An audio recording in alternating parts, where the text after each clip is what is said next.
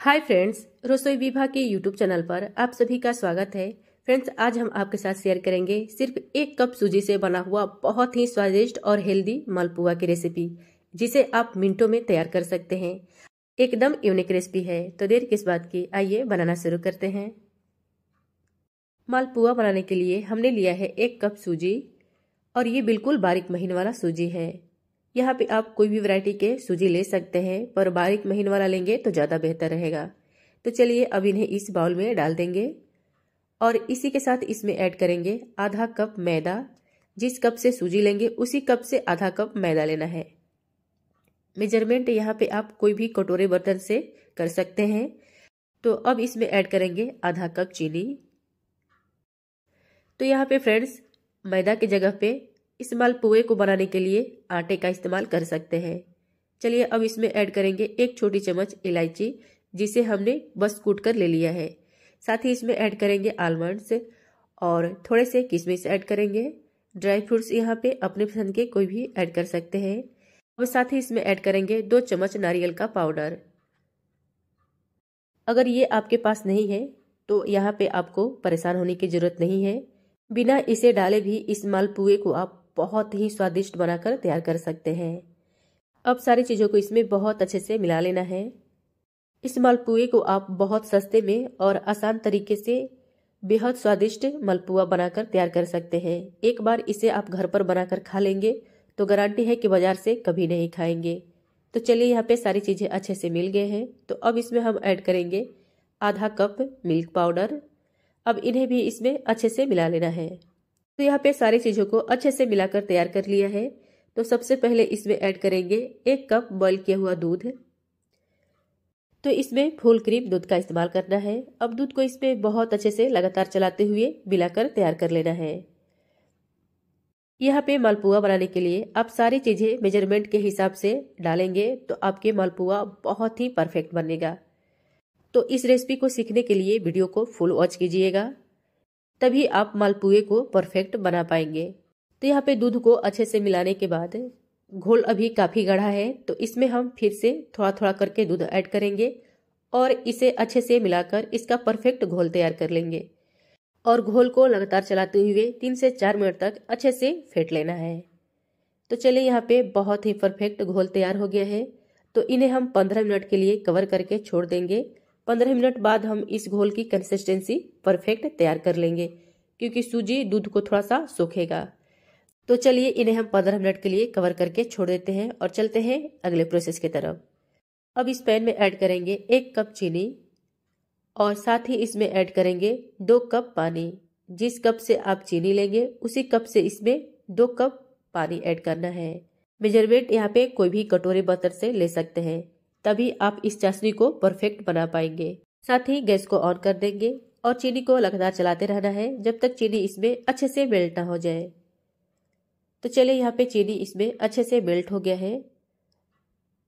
तो चीनी यहाँ पे पका नहीं है, बस मेल्ट हुआ है। तो अब इसमें हम ऐड करेंगे एक इलायची जिसे हमने कुट कर ले लिया है।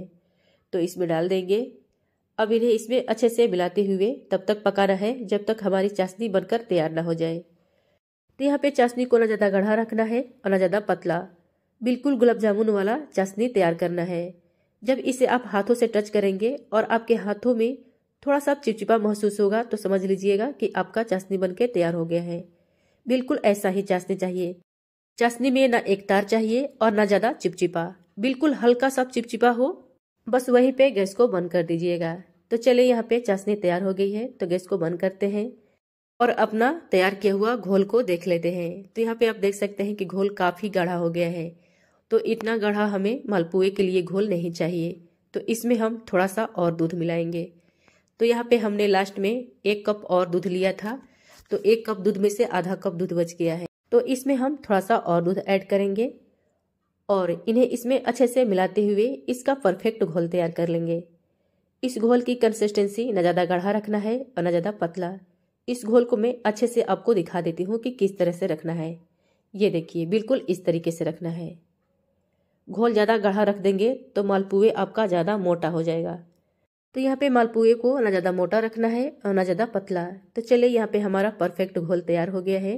तो चलते हैं गैस की तरफ़। अब यहाँ पे एक कप दूध में से बस थोड़ा सा दूध बच गया है। इस घोल को तैयार करने में टोटल दो कप दूध का इस्तेमाल हुआ है। तो यहाँ पे मालपुआ को फ्राई करने के लिए तेल को ज़्यादा गर्म नहीं करना है, सिर्फ़ मीडियम गर्म करना है।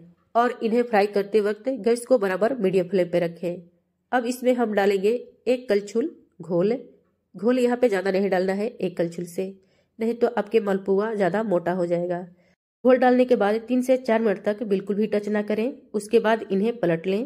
पलटने के बाद इन्हें हल्के हाथों से चम्मच या पलटे के सहायता से दबा दबा कर इन्हें अच्छे से सेक लें बिल्कुल इस तरीके से।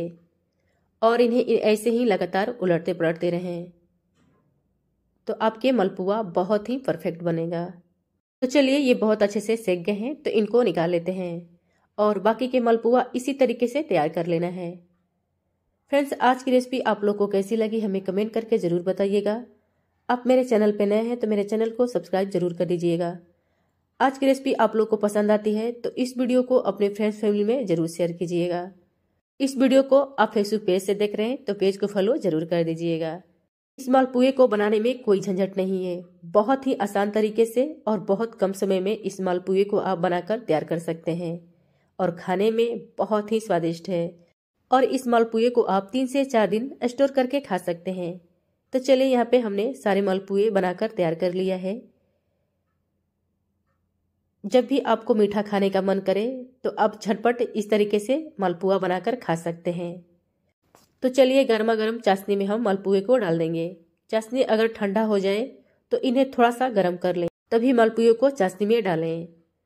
अब मालपुए को चाशनी में अच्छे से उलट पलट देना है इस तरीके से, और इन्हें चाशनी में 10 से 15 मिनट के लिए कवर करके छोड़ दें, ताकि चाशनी मालपुए में अच्छे से समा जाए। उसके बाद खाने के लिए परोसें। तो ये लीजिए सुपर टेस्टी रसीला आपका मलपुआ तैयार है। तो है ना बनाना आसान? ये खाने में बहुत ही स्वादिष्ट लगता है और बनाना भी बहुत आसान है। तो फ्रेंड्स, इस रेसिपी को ज़रूर ट्राई कीजिएगा और ट्राई करने के बाद हमें कमेंट करके ज़रूर बताइएगा। अब इन्हें आलमंड से थोड़ा सा गार्निश कर देंगे। तो इस वीडियो को लाइक, शेयर और चैनल को सब्सक्राइब ज़रूर कर दीजिएगा। मिलते हैं नई रेसिपी के साथ। Thank you.